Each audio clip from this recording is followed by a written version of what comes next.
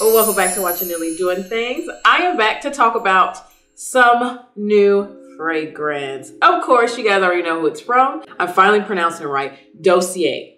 So Dossier, I actually got another fragrance. The scent I have today is Gourmand White Flowers. So we're gonna dig all the way into this, but before I do, guys, don't forget to like, subscribe to my channel, which is Nelle Doing Things. And as well, don't forget to leave a comment below. You guys already know with these fragrances from Dossier, I do have 10% off code. It is Nelle10. Get your 10% off between August and October. And don't forget to hit that notification button while you're down there as well. So let's get into this fragrance. All right, all right, all right. So you guys already know with these fragrances I grab, they do range from 29 to $59. This one is the $29 one.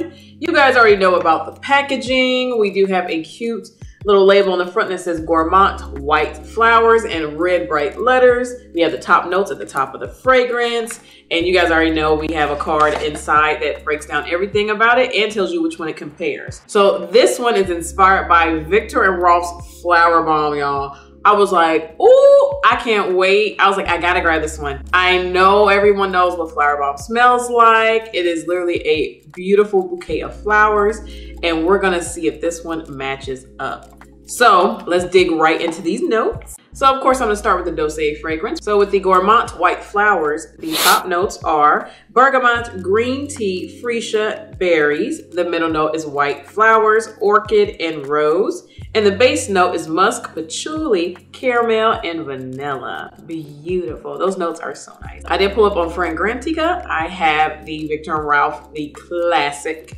perfume. The top notes in this scent is tea, bergamot, and osmanthus. The middle notes orchid, jasmine, rose, freesia, and African orange flower. Mm. Base notes is patchouli, musk, and vanilla. So we got a lot of similarities there, a lot, a lot. So you guys already know, let's spray her up, wrist, over the head, and walk through.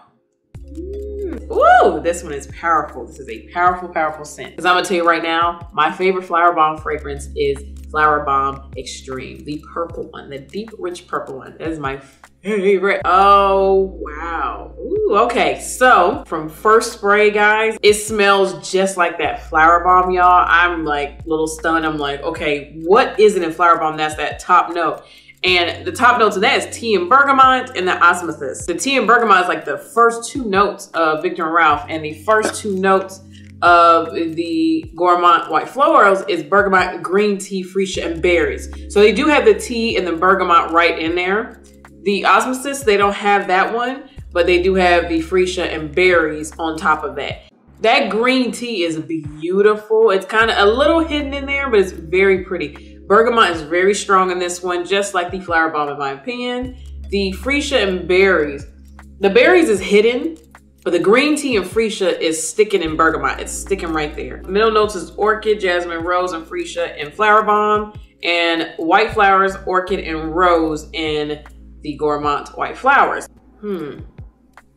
The white flowers, orchid, and rose. You guys already know this channel, I hate rose. So usually rose grabs my nose really quick, but I'm not smelling her. I'm smelling that green tea and bergamot still. The base notes in the Viktor and Rolf one is patchouli, musk, and vanilla. So the base note in the Gourmand white flowers, it is musk, patchouli, caramel, and vanilla. So this one has caramel added. So like I said before, Dossier gives you an extra note in the base, middle, and top notes. I love that. I like the caramel added. You guys, hmm, I love chocolate, caramel, vanilla, musk, tonka bean, all all of that is like nice and creamy and smooth and just makes edible gourmand, like they say. So this is 18% concentration too.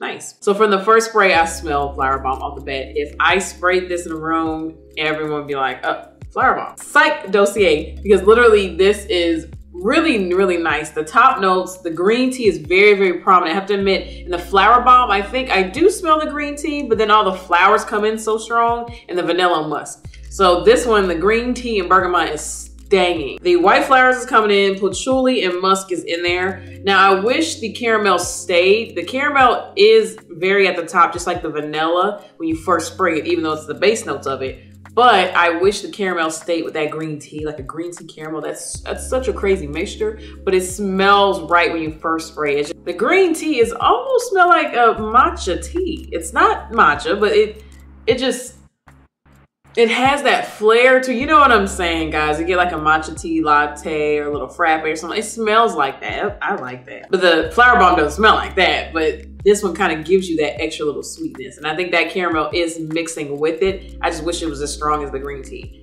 This one is a very, very close comparison one, y'all. If you feel like the Flowerbomb scent is a little too expensive or you're like, um, I don't know, some notes are maybe a little too strong or too floral, I think you may like this one a little better because it does have the more berries. It has a lot of flowers in it, but it has a lot more richer base notes. So that caramel really does stick with it. If you don't mind a little bit of a herbal scent when it comes to the green tea part, then you'll really like this one. Because the Flowerbomb one she doesn't have that strong green tea in my opinion. That's not what shows up on my skin, but this one, it's staying. Like a few different scents in the front and then when you sniff past it's like green tea still there, like I'm here. I love the green tea in this. It's beautiful. This is definitely, definitely a spring scent off the bat. I feel like the caramel vanilla in this, you can get away with wearing this, especially in the winter, a little bit fall time. If you do pull a lot of vanilla and caramel, I pull it a lot. Musky, deeper scents, I pull it very well on my skin.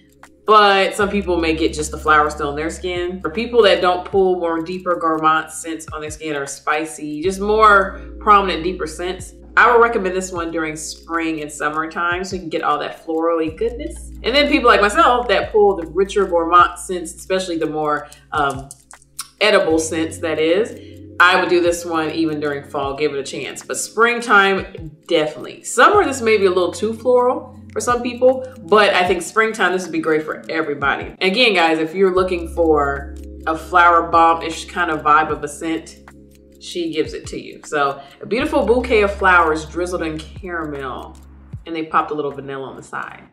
Mm, cute. So the Gourmand White Flowers, this one does replicate pretty much the Flowerbomb, especially the original base notes that you get off of it off the bat, like the bouquet of flower kind of scent. This definitely gives it to you and it gives you a little bit more of a little caramel vanilla twist. It's really, really nice. I think this one, does it like outbeat the Flowerbomb? I still think the Flowerbomb is a legendary. It is the top, top, top tier. Something more affordable, you know, less expensive. This is a very, very good runner-up. I have to admit, Dossier, they are very, very good at replicating these scents, these very popular scents at that. So, because Viktor and Rolf, I feel like that's not an easy one to replicate, in my opinion. I feel like that is so many different notes in that scent and how I break it down, you can actually smell each and every layer. The top row off the bat and the base note. The middle notes in this scent, I'm just not grabbing them as much, but in Viktor and Rolf, I grab every single layer. So it's the only thing I noticed about this one that's a little bit missing out, but the top and base notes are so good and so prevalent and they stick and stay that I'm like, if you want that kind of Flowerbomb scent, this just gives it to you. So that middle notes won't even phase you really, unless you love rose and white flowers and everything then may, you may be like, eh, I don't know. But this one replicates it very, very well. So guys, thank you for watching me, which is Nelle Doing Things. Don't forget to like, subscribe to my channel, which is Nelle Doing Things. And as well, don't forget to leave a comment below. Guys, let me know, are you a fan of Viktor and Rolf scents? Are you a Flowerbomb fanatic? And which Flowerbomb is your favorite fragrance? And guys, don't forget to hit that notification button before you go. You guys already know what I'm about to say. I'll catch y'all on the next one. Bye.